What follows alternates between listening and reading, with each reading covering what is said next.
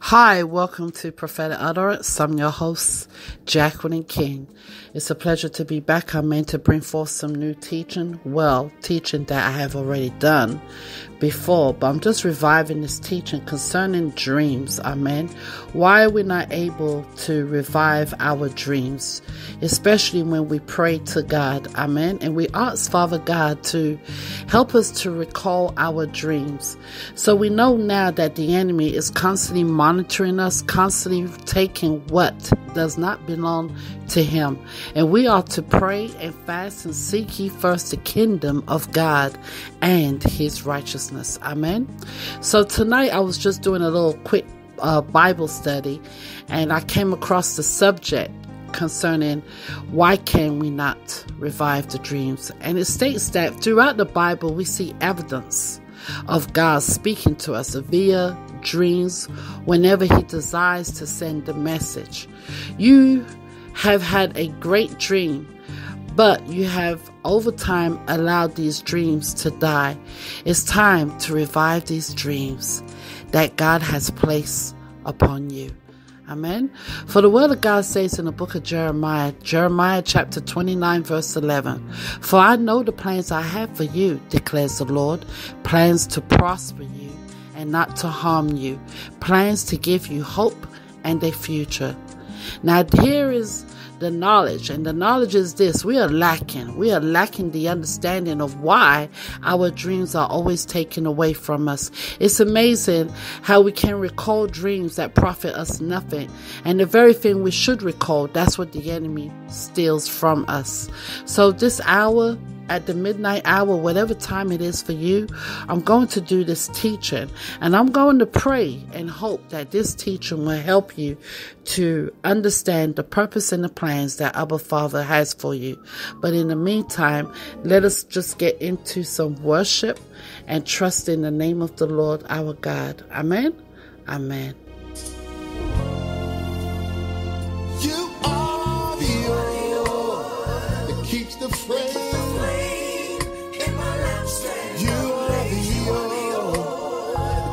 flame.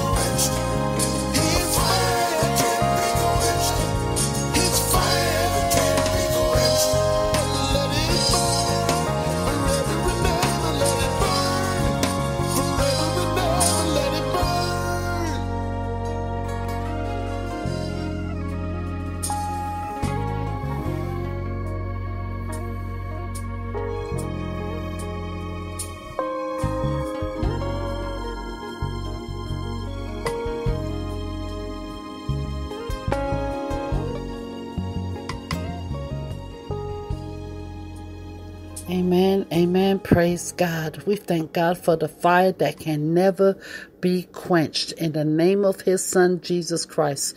We should never allow ourselves to run dry. Amen.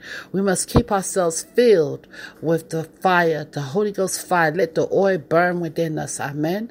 In the mighty name of his son Jesus Christ. Father, we just thank you for tonight's fellowship. Wherever, whoever you are, wherever you are in this God's world, we just give God the honor and the glory. We thank you for the word and the revelation that you are going to receive tonight. I pray this word will help you just as much as it has helped me. Amen. Amen. Praise be to God.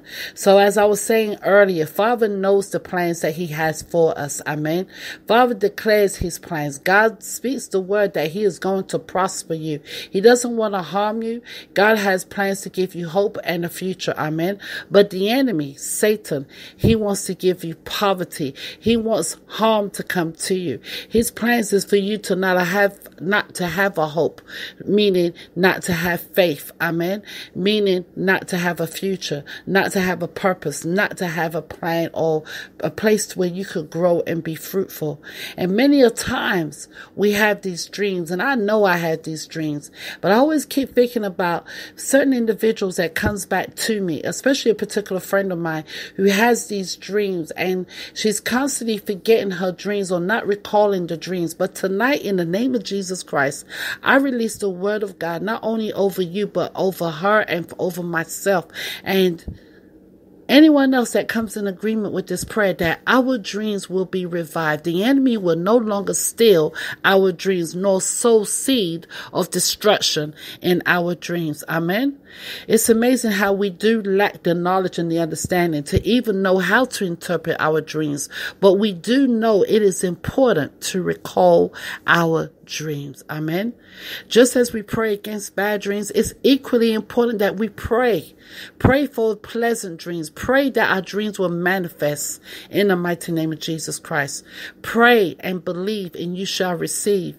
And many a times the enemy does not want us to remember the dreams. He does not want us to see our future, our destiny, uh, and see that we prosper. Amen. He doesn't want to see us grow in that place where we could begin to trust in the name of the Lord and see him do marvelous things in our lives. Amen. So, the word continues to say in the book of Proverbs, Proverbs chapter 9, verse 10, it says, And never forget that the fear of the Lord is the beginning of wisdom.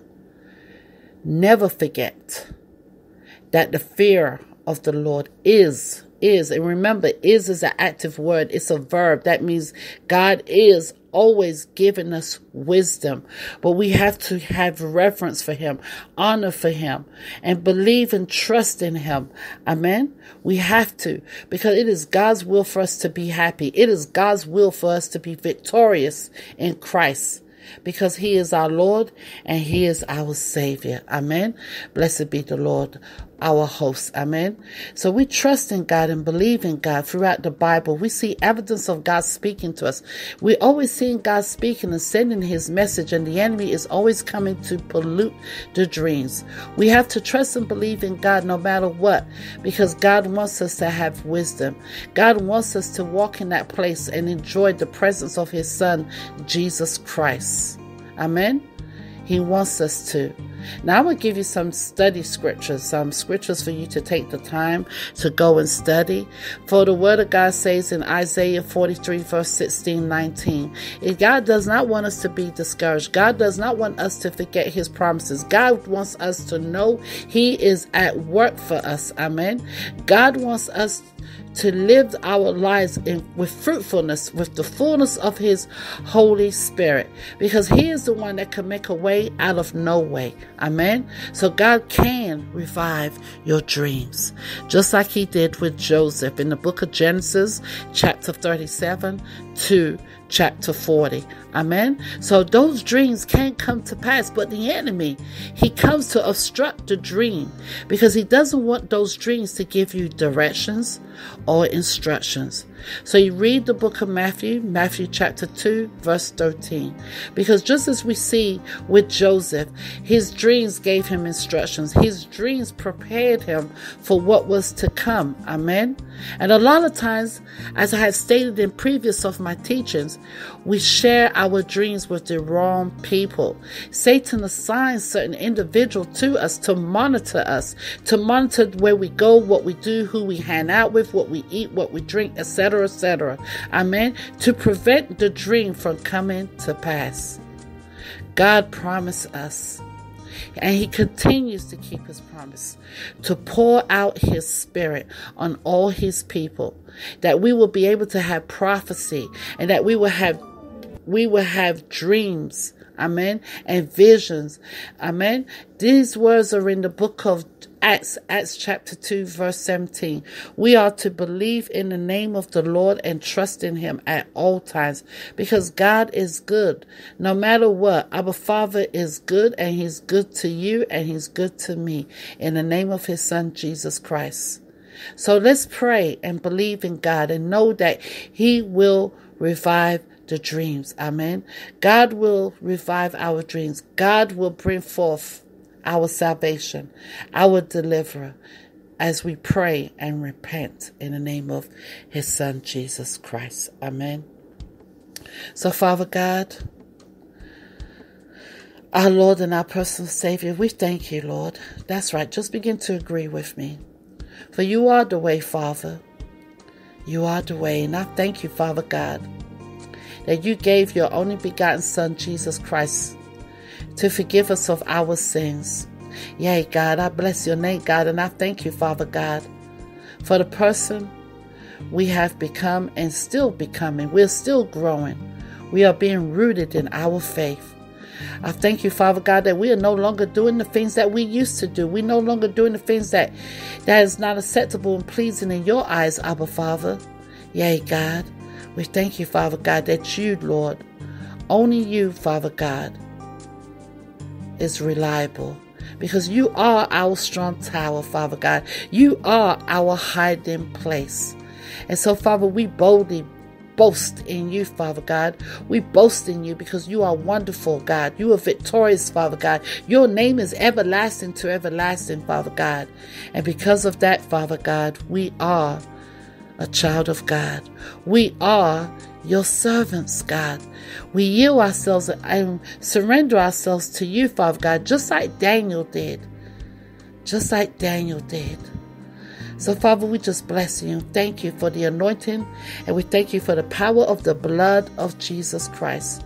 For your words say, Father God, it is written in 1 John chapter 1, verse 8, if we claim to be without sin, We deceive ourselves and the truth is not in us.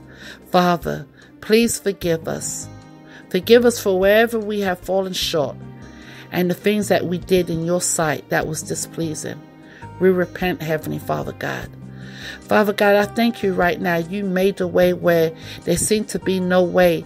in so many circumstances in our lives, Father God. Father God, you are the way maker. You are the Lord of our salvation. And we thank you. We bless you, Father God, for everything what you continue to do, Father God. We thank you for everything, God, in the mighty name of Jesus Christ. We thank you for your mercies and your grace upon our lives, Father God. I thank you, Father God, that we are no longer uh, blameless. We are no longer filled with blame. We are no longer shame. We have become blameless and shameless because we testify your Son, Jesus Christ. Because in him there is no condemnation. Amen. Amen. Praise be to God. So, Father, we thank you that you will revive the dream. So, whoever you are, wherever you are, begin to confess that Father God will revive your dreams. Amen. Father will revive your dreams in the mighty name of Jesus Christ. He will bless you in the name of Jesus Christ. But you must pray. You must p- repent. You must pray that the enemy's lies and his deception will not prevail against you or anyone. Amen. Not even against your dreams, not even against the plans and the purpose that God has for you. He will not hinder you. He will not block you in the name of Jesus Christ. But pray that God's will be done. Pray that the Lord's will will be done in your life. Amen. Pray that you will be you you will be vindicated by fire. Amen. For the glory of our Lord and Savior Jesus Christ because the enemy wants to bring seeds of destruction in your dreams. And that's why many of us, when we go to sleep at night, we have numerous dreams, dreams. And as soon as we wake up, we don't recall the dreams because the enemy comes at night. While they slept, he brings seeds and he sows them. Amen. And we have to begin to set fire to the tares that he plants in our lives. Tares of destruction, sickness, disease, poverty, whatever the problem is, we must set fire with it with the word of God in the mighty name of Jesus Christ. We must destroy every seed that the enemy is using to hide and to create fear in our lives in the mighty name of Jesus. Fear in women, in men, in children and we must rebuke the spirit of fear because Father said, I didn't give you fear. I didn't give you the spirit of fear. I gave you the spirit of power, love, and a sound mind. So, Father, in the name of Jesus, we renounce and fall out of agreement with the lies of the enemy. We renounce the lies that they have been feeding us for such a long time. So, whoever you are, begin to renounce and fall out of agreement with the lies, with the spirit of deception that has been planted in your dreams, in your thoughts, because God is mighty and strong and bring those thoughts into captivity. Amen. Bring them into captive. Amen because we don't want to sit here and not be active. Because if we don't do something and pray with the word of God, we will start believing in the lies of Satan and we will begin to lose our hope. And when we lose our hope, we no longer have faith because now faith is the substance of things hope for, the evidence of things not seen. So we must not allow the lies and the deception become our reality. We cannot eat from the enemy's table in the name of Jesus Christ. These lies come now to discourage you. These lies come now to bring addiction, suicidal thoughts, unforgiveness, stagnation, limitation, failure, disappointment, unbelief, and other contrary spirits. Amen. And we must arrest those spirits now. So, whoever you are, revive your dreams. I arrest every demonic spirit, every demonic seed that was planted in my dreams. I arrest you now. I uproot you now. You be bound and be destroyed forever in the mighty name of our Lord and Savior Jesus Christ. Amen. That's right. Say, you be arrested. Every spirit that comes in my dreams to bring forth discouragement, addiction, suicidal thoughts, unforgiveness, stagnation, limitation, failure, disappointment, unbelief, and other contrary spirits be arrested in the name of Jesus Christ. That's right. Begin to speak it. Be arrested in the name of Jesus Christ. Be arrested. Be uprooted. Be bound and destroyed forever. In the name of our Lord and Je- Lord and Savior Jesus Christ. Amen. Begin to pray like that. When you cannot recall your dreams, and you want to revive your dreams, begin to pray like that. Because let me tell you something for those who are listening to me. I don't know how far people go in these messages, but I pray tonight in the name of Jesus, you will hear the fullness of this message. A lot of times the enemy is doing spiritual warfare with you through these lies. Spiritual warfare is discouragement. Spiritual warfare is addiction. Spiritual warfare is suicidal thoughts. Spiritual warfare is unforgiveness. Spiritual warfare is stagnation. Even when you are having financial distress, that is spiritual warfare. Even when you're struggling with stagnation and limitation, failure, disappointment, unbelief, and other contrary spirits, these spirits are planted to bring forth warfare in your life. So it's so important that you renounce them and remove the lies of the enemy. Do not allow the enemy to feed you food of destruction. Do not drink from the enemy's table because you begin to believe his lies and lose your hope, lose your hope and the touch of the reality of what is true and what is pure and what is love. So in you, woman of God, man of God, whoever you are and wherever you are in this world, command those unclean spirits that manifest in your dreams to be arrested, to be uprooted, to be bound and destroyed forever. In the mighty name of our Lord and Savior Jesus Christ. Take authority over yourselves. Take authority over your dreams. Dedicate yourselves every day upon the altar, the holy altar of our most high living God. Commit your will to Him. Pray in times of distress. Give thanks no matter what. Because when you give thanks, God will strengthen us. He will strengthen you. And you will begin to seek Him more and more because you know just as well as I do, He is the solution to our problems. So, Father, we thank you right now. We bless you, Father God, as we thank you for the administration of the angelic assistance. So, Father, we pray for the administration of angelic, angelic assistance, the angels, to come now to locate you, man of God, woman of God, to locate your homes, to locate your workplaces, your schools, or wherever you are. Because we are calling on our angels to protect us because they are mighty protectors. They are warriors in battle in the name of our Father, the Son, and the Holy Spirit. We pray. Amen. That's why we ask for assistance. That's why we ask the angels of God to administer to us, to protect us, to protect everything about us. And this is the time we must cry out to God and ask Abba Father to protect us and to deliver us from the the fowler, from the noisome pestilence, in the name of his Son, Jesus Christ. So, Father, we thank you for your word. we thank you for reviving the word. Come alive, come alive, come alive in me, Holy Spirit. You're welcome here, Spirit of the living God. Revive the dreams, Spirit of the Lord. Revive the dreams. Let their dreams be awakened. Let it be restored in the mighty name of Jesus Christ. We choke the seeds of destruction. We choke the tares of destruction in their dreams. In the mighty name of Jesus Christ. Father, I pray that they will identify and begin to recognize who is lying to them and they will fall out of agreement with those demonic spirits, with those foul spirits, in the name of Jesus Christ. For your words say, God, in the book of Job 33, verse 14 and 18, for God does speak, now one way, now another.